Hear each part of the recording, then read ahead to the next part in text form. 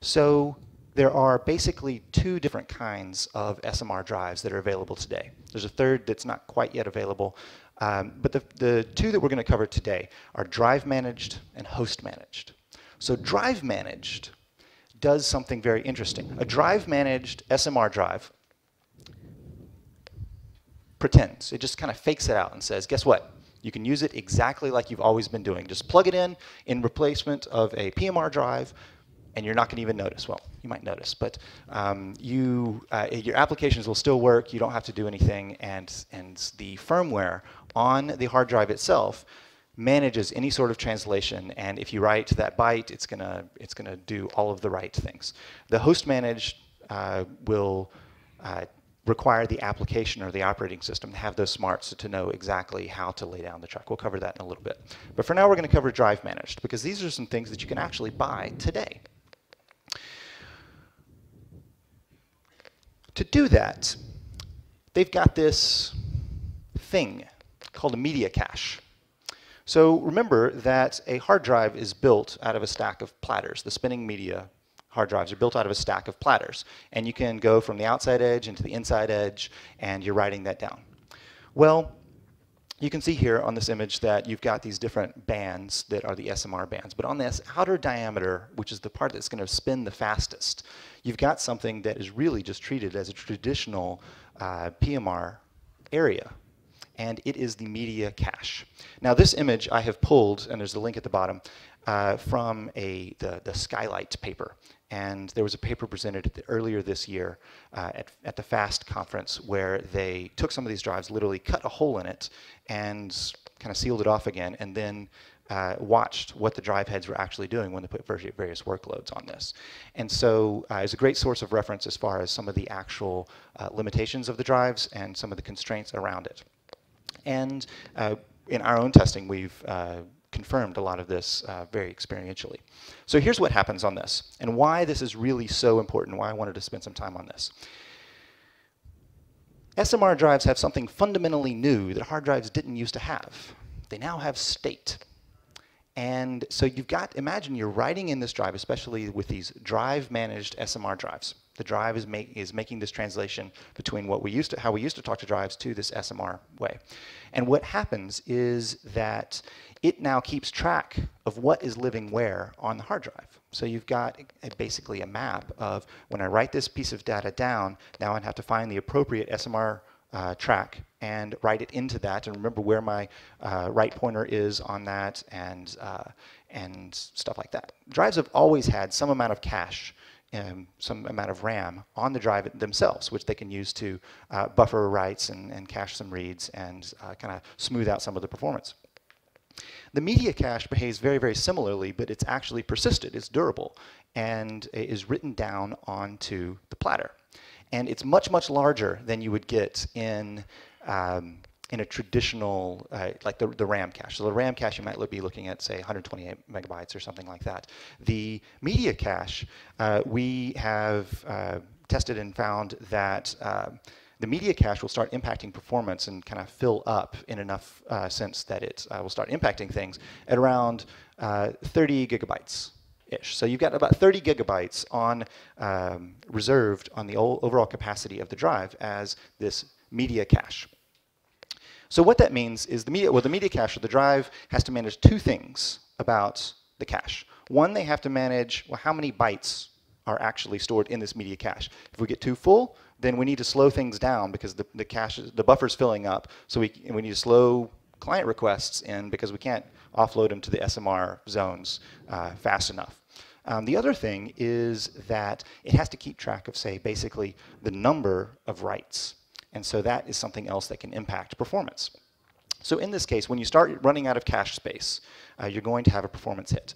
And the uh, performance hit starts uh, being experienced around 30 gigabytes of uh, bytes written or about 200,000 writes, whichever one comes first. So if you're writing very, very large files, you're probably going to hit the, the capacity limit first. If you're writing very small files, you're probably going to run into the, uh, the number of operations uh, that are being managed. And this is basically this state table that the drive is managing, saying that I've accepted all of these writes, these 200,000 writes, and now I need to kind of flush them out and figure out how to reorder the writes so that they go out appropriately onto these SMR bands.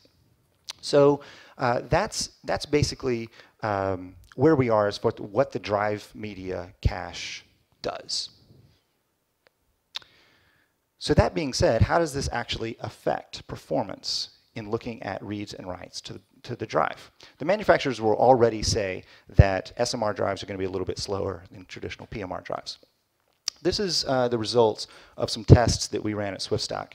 And it is random writes and basically looking at the raw device and then seeking to a random position on that raw device and writing out an object or an object, a file, a, a, a chunk of bytes. So direct, uh, direct micro benchmark directly to the to the drive itself. Nothing else, not even a file system in the way. And so we tested this at everything from 4K writes all the way up to 4 megabyte writes. And you can see that the when we're um, when we're dealing with very very small things, we can't really sustain a very large throughput because we end up running into that drive media cache like number of items uh, and then performance goes down. Um, however, when you get to bigger objects, things like four megabytes, then you're going to be able to start writing much, uh, you have much more throughput before you get impacted by um, by the performance of the drive. And you would think you look at this and like, oh wow, current trends continue. Well, I'll just man, let's, let's write 100 megabyte objects and we're going to get like infinite speed, right? Not quite. Um, so we suspect that generally the limits that you're going to see will be at whatever that SMR band size is. So if an SMR band size is going to be around, say, 256 megabytes or something like that, you're not going to see any performance after that. And more so, um, what I, the way I phrase this as a sustainable daily write limit is in this example, if you have a 4 megabyte object or 4 megabyte writes to an SMR drive, you can sustain, on average, throughout an entire day, about 8 megabits a second of writes. That doesn't mean that you have to stay at or below 8 megabits all the time. You could spike. But within that day, you need to average at 8 megabits a second. And that's actually really important because if you do spike above that, then you will start dealing with this background garbage collection defrag process that's happening to move things from the media cache into the SMR zones on the drive. And when that happens, performance tanks. I mean, like three orders of magnitude worse. You can move from writing megabytes to bytes per second. And uh, so that's why you really need to stay, stay below this. Now you look at this, and we start thinking about, okay, well, what does this mean for Swift itself? So, okay, that's not too bad. You know, four megabytes, it's not very big. I've got lots of data that's a lot more than that. But if you remember back, say, six months ago in Vancouver, when we had quite a few different public uh, service providers uh, who are running OpenStack Swift share a lot more information about their numbers, the object size distribution looks more like this. And this is kind of bad. And the problem is that, um, I'll admit, I actually kind of made up some of these numbers to just kind of show a nice big bulge in the curve because we don't have it quite at this resolution. But what we do know for a fact that at least with uh, some uh, service providers is that 91% of their objects are less than 100K. What does that mean if you say that you need to have like four megabyte or more or larger objects?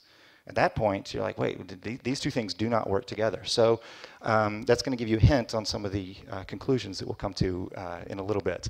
Um, but the point is that in general Swift workloads and kind of the public cloud use case and kind of just the general purpose use case, the way a lot of people have been seeing it is that they're very heavily influenced at doing very, very small writes. And SMR drives are very, very good at, or not very good, but they are much better at doing large writes. And until these things would match up, you would say, hmm, it's going to be kind of tricky to use SMR drives inside of a general purpose Swift cluster.